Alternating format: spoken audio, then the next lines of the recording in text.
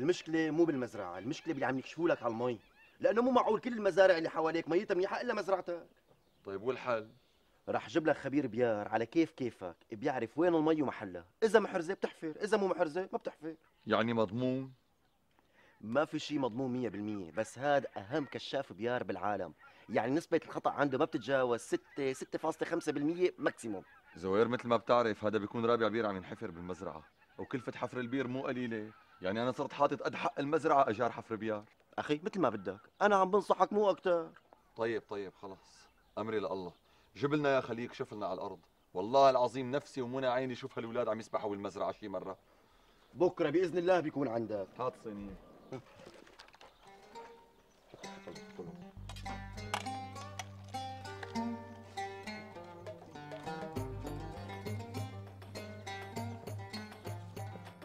بوس إيدك. حاجتنا بقى صرف على هالمزرعه والعمل بنضل عم نشتري المي شرب يبعت لحمها هالمزرعه طب شوفي لقلك هالمرة بنجرب حظنا.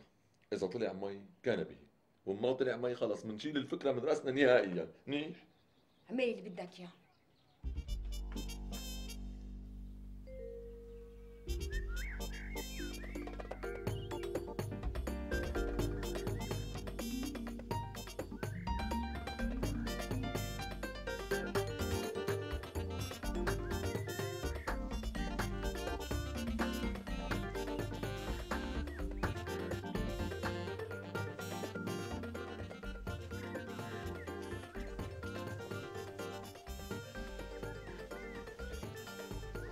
شو أخي؟ شو طلع؟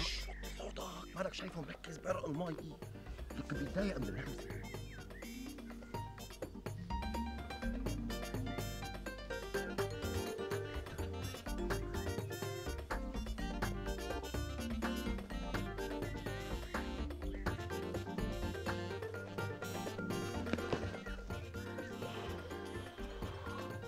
أخي الظاهر بهالجهة ما في مي. خلونا نرتاح شوي. بعدين نفحص الجهة الثانية على رأسي.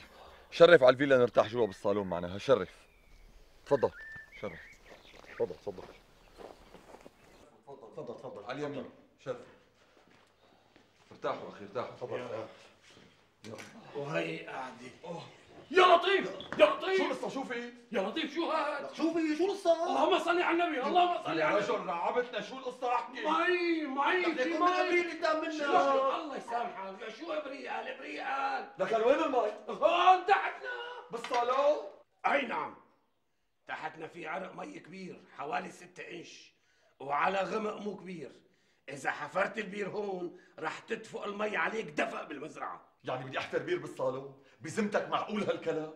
أنا واجب أقول لك وين العرق بتحفر ما بتحفر هذا مو شغلي على فرض بده يحفر كيف بده يفوت الحفارة على الصالون ما في داعي للحفارة لأنه المي اللي عندك على غمق شي سبع امتار مو أكثر يعني بير عربي إذا بتجيب خمس عمال خلال يومين شغل بيكون البير جاهز هلا عرق المي ما عجبه يمرق غير تحت الصالون؟ ما تشبك منيح اللي طلع عندك مي بقى بوس إيدك مش واقفه في ناس تتمنى تطلع عنده المي ولو بغرفة النوم بقى أضحاك بقلبك اللي صار لك مصاح لغيرك بكرة بتعمل شلال وبحرق هون بتخدق خدق وبترطب حالك بتروق آخر رواق ماشي الحال ماشي الحال. شوف أخي الله يرضى عليك من أولها. مو بكرة بحفر من هون ما بيطلع عندي مي أو إذا طلع عندي مي تطلع كمية قليلة ما بتعبي مسبحة. الله يرضى عليك. تصطفل أنا بدي أمشي. لك طول بالك. خلي خلي طريق. لك طول بالك طول بالك. ايمان عم يحكي هيك من حرقة قلبه بس طول بالك عليه. أنا صار لي 25 سنة بهالمصلحه لما بقول في عرق مي يعني في عرق مي. نحن هلا واقفين على نهر جوفي بيعبي 100 مسبح وأكثر فهمانين؟ خلي طريق. لك طول بالك. طول بالك. لك الله يصرحك يا عماد. ليش هيك زعلته عصبي كثير هلا بتروح بتجيب عمال بتبلش حفر. ما بدها وقفه عماد. يلا. لا حول ولا قوة. تكلنا على الله. يلا.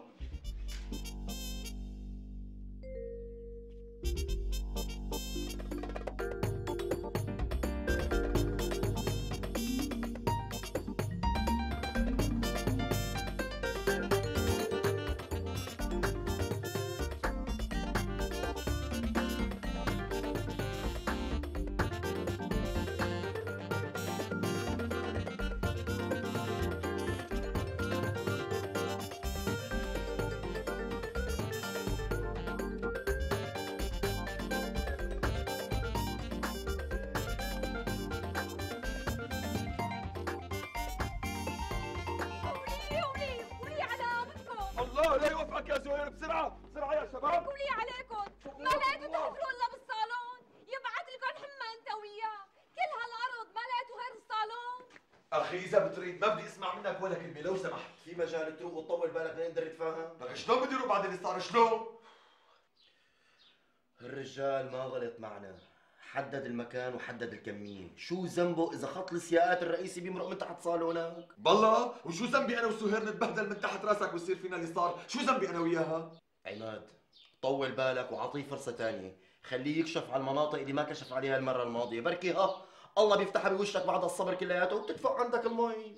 شوف يا أنا يا هالمزرعة بحياتك. طولي بالك ليش كل هالقد معصبة؟ هديك المرة وصلنا على السياقات. هالمرة أبصر لوين بدنا نوصل. هالمرة أنا بتحمل المسؤولية، رح آخذ الشغلة كلها على عاتقي الشخصي، منيح هيك؟ تصطفل منك لمزرعتك. أنا بحياتي ما بقى دوس هالمزرعه فهمان؟